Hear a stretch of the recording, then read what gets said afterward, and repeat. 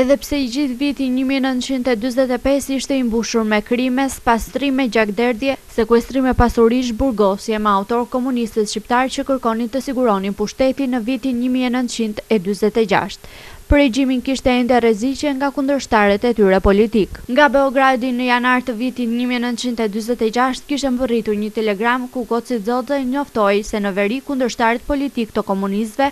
po përgatiteshin për të nisur në pranverën e një mijë e nëntëqind e dyzet e gjashtë-s një kryengritje të madhe. Kujto.al sjell dy dokumente autentike që ruhen në Arkivin e Shtetit që dëshmojnë fillimin e këtij operacioni spastrimi që u shtri në çdo cep të Shqipërisë që u shënuan qindra viktima e shumë të burgosur të tjerë, pasuar me kalvarin e mëvonshëm të internimeve e persekutimeve.